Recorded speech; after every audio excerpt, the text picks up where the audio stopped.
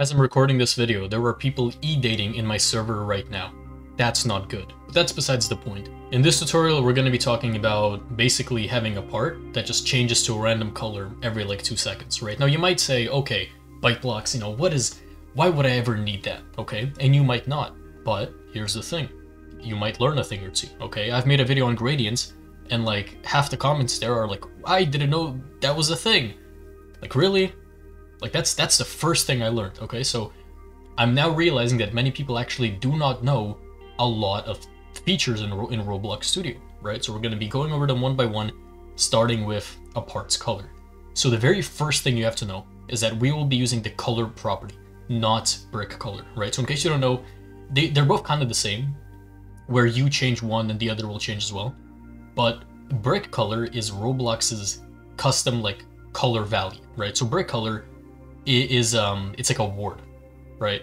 So if you want to change the brick color, you have to make it equal to a specific ward. But if you want to change the color, you can use any single color in the color wheel using these three numbers, RGB, right? So, you know, that's what I want to use because you just have a lot more options using color. Um, the next thing to note is that we have to script it, right? So you have to kind of understand how scripts work. And you also have to understand how random works. How can we generate a random number and actually put that into the color? So what I'll do is I'll make a you know a script in server script service, and because we want this to loop, because we want this to be like you know a forever thing, let's say every two seconds, I'll say while wait to do. So this will make a loop that will run every two seconds, right? And what I'll do actually above is I'll make a variable for the part. So I'll say local part is equal to workspace.part. Right, actually, actually, I guess wait for child, just so we know that it lo it's loaded. Okay, yeah, wait for child part. And then, how do we change the part's color? Right, how do we do that? Well, we know that it has a color property, so we can say part, oh wait, yep, part dot color. I wonder if people are still e-dating in my server. You should go check it out in the description part.color, right? And as you can see, it's a color 3 value, right? So here it tells us what value it is. It's a color 3. So if we want to change the color, we have to make it equal to a color 3 value. And then we can make it for dot new, dot from RGB, from HS, I don't know what these are. I always use from RGB. And the reason I use from RGB is because it allows us to use the numbers that are here, right? So uh, the number is from 0 to 255, right? So all of these three numbers can either be 0 or 255. And I believe from new is very similar, but from what from new does, uh, or no, no, just new. What new does is it only allows us to go from 0 to 1, right? Which, I don't know, that's not, that's not like a, like it's the same thing, right? But it's just, I don't know, from RGB looks better. And you can actually see it here as well. So I, I use from RGB. And then, you know, you can change the color here, right? And then if, if I want to make it green, you know, it just automatically gives me the numbers. So we have these three numbers, right? You know, that's that's that's pretty cool. So now if I run this every two seconds, it's going to set the part's color to be this color.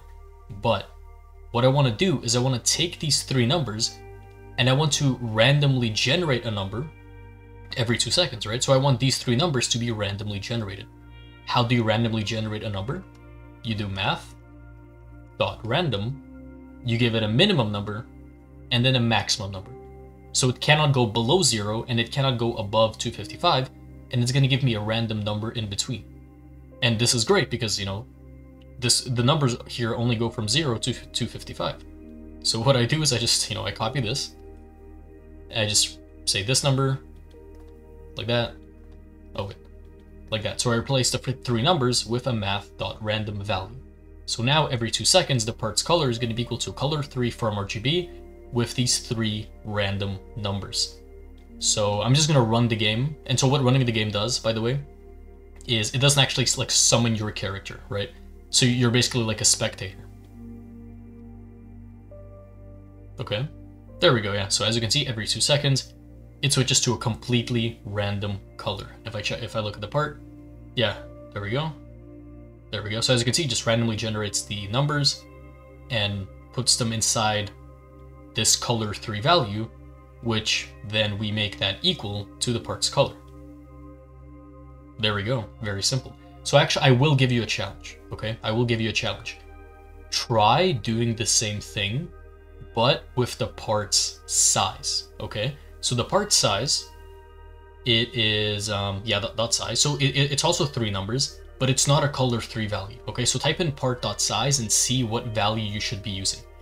And then I would say make the size, like, like for each number, make it go from one with the minimum to let's say 100 being the maximum. Okay, so in your math.random, make this to 1 and make this to 100. And then, you know, obviously just, you know, have that loop every two seconds. So basically do, do what I did with color, except just with size, right? Where the minimum size per number can be 1 and the maximum is 100. Okay, so do that challenge.